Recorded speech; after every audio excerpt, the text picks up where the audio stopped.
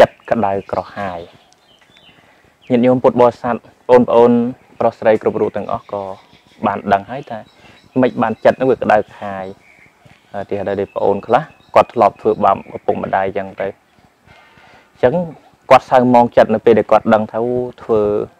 អឺអំពើហ្នឹងมันល្អជាមួយឪពុកម្ដាយធ្វើឲ្យគាត់យំធ្វើឲ្យគាត់នឹងពិបាកចិត្តនឹងឲ្យទៅកូនទៅរៀនហើយកូនទៅបំផ្លាញទ្រព្យសម្បត្តិ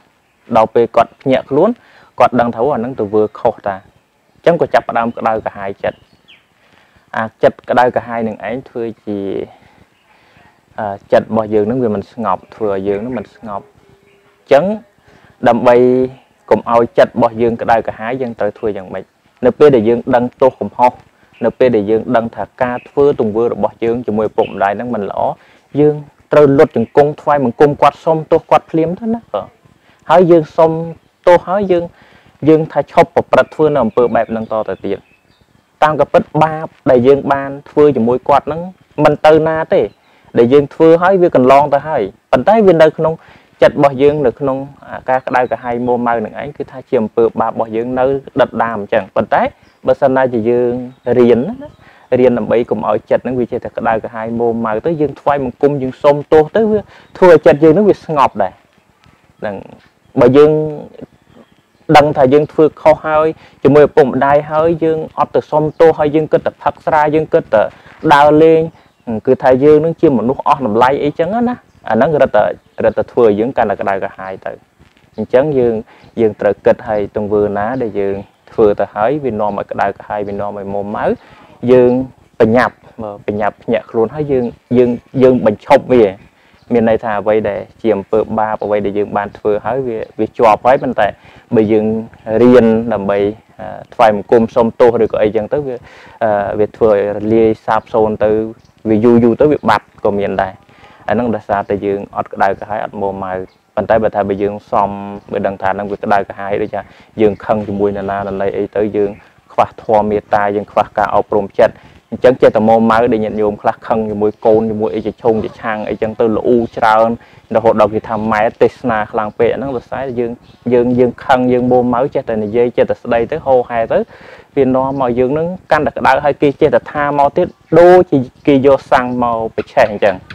អញ្ចឹងយើងរៀនកាត់បន្ថយនៅពេលណាដែលយើងដឹងថាយើងវាខឹងវាមុំមកវាក្តៅក្រហាយនិងយើងធ្វើនៅអំពើបាបផ្សេងផ្សេងយើងយើងដឹងហើយយើងយើងបញ្ញាប់ឈប់ហើយយើងកែយើង យើងធ្វើនៅអំពើល្អឲ្យបានច្រើនត្រឡប់តបទៅវិញទៅគឺថា